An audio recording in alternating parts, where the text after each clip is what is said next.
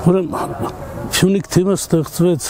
1992 թվականի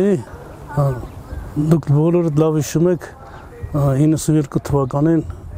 սովետական միությունը քայքայվեց եւ ամեն երկիր պետություն ստեղծեց իրեն երկիրը ու անկախացանք մենք էլ Հայաստանով մենք նույնպես անկախացանք այդ ժամանակ ես աշխատում եի Սիմֆերոպոլի Տավրիայի թիմում հոյակապ թիմ էր Ուրեմն վերադառնալուց հետո 92 թվականի հունվարին Հայաստանում ընկերները հավաքվեցին եւ որոշեցին որ ստեղծել մի հատ թիմ էլ որովհետեւ անպայման պետք էր ու ստեղծվեց թիմը անունը դրեցին Commentman մնաց միջև Commentman-ը միջև 95 թվականը այնուհետև վերանվանվեց Punic Ես ցես կասեմ որ առաջի չեմպիոնը մենք դարձանք անկախ Հայաստանում մոմենտմենը նույն Փյունիկը։ Դե միջև հիմա փաստորեն աշխատում է կառույցը հոյակապ ակումբ է դարձել։ Այդ ընթացքում 7-8 անգամ երևի չեմպիոն ենք դարձել, գավաթակիր է դարձել Փյունիկը։ Նու լավ տրադիցիաները շարունակում է։ Ես ուզում եմ մաղթել Փյունիկ ակումբին հետագա հաջողությունների համար որ հավատում եմ անպայման իրանք հաջողություն կունենան, որովհետև լավ կոլեկտիվ է, իսկ ամենակարևորը կոլեկտիվն է, եթե լավն է, ուրեմն շարունակություն կլինի անպայման։ Մաղթում եմ Փյունիկ ակումբին հաջողություն։ Հիմա կասեմ ակադեմիան այսօրվա վիճակով, եթե վերցնենք, ասենք պայմաններով, ամեն ինչ բարձր մակարդակի է, նույնպես Ուրարտուն։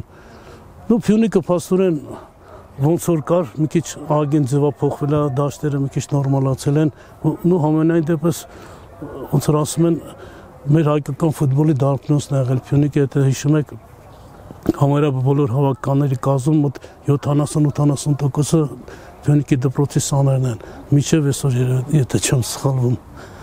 ու կցանկանամ որ մյուս ակումբներն նույն ձևի աշխատեն մեր երկրի համար տան լավ ֆուտբոլիստներ դա միան պատիվ կբերի մեր հայկական ֆուտբոլին։ Ձեր ղեկավարած մարզադպրոցում, երբ Երևանի քաղաքապետարանի կից ֆուտբոլի մարզադպրոցի տնօրենն էիք, հենց այդ շրջանում ի հայտ եկան իրենց առաջ քայլերը դարձին Հենրիկ Մխիթարյանը, Ռոբերտ Արզումանյանը։ Դու ես նա կասեմ, ես ուրեմն 90-ը միջև 8 թվականը, միջև 98 թվականը Ես աշխատում եմ, բայց ինձ որ վստահեցին ֆուտբոլի դպրոցը Վազգեն Սարգսյանին շատ շնորհակալություն եմ հայտնում էր սպորտապետին, որ անձամբ ինքը խոսքեր չեմ կարող գտնել, որովհետև այդ հանձնավորությունը միջև այսօր, այսինքն մեր սպարապետը չկա, բայց այդ հիշողությունը միշտ կմնա, որ առաջին ընկներ, որ այս դպրոցը ասեց անպայման դու պետք է ղեկավարես։ Իսկ 98 թվականից արդեն եւ որ ես դարձա արդեն տրոնը տնօրենը սպորտ դպրոցի ու տեղից արդեն մեր սկսվեց մեր փոքրերի աշխատանքը։ Իրանք այն վաղ որ ասում ենք ֆուտբոլիստները տվել է Փյունիկ, ուրեմն 98 թվականից 97 թվականից արդեն նոր հավաքել ենք այդ տարիքի տղաներին 98-97 ես լավ հիշում եմ ասիկան իմ տղեն Էդգար Մանուչյանը որ հաղում են իրանք հոյակապ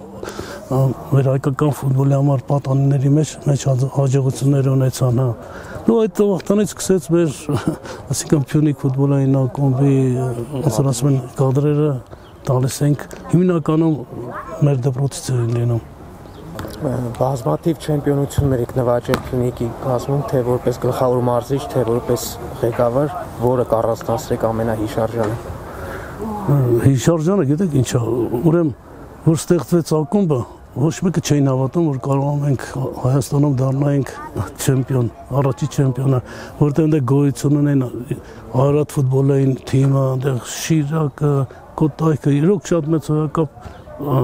թիմեր ունեն, իսկ մերը նոր ստեղծված զրոյից ստեղծված թիմներ։ Ու հաջողությունները իմ կարծիքով ոնց որ ասում են միանգամից եկավ։ Դարձանք Հայաստանի չեմպիոն։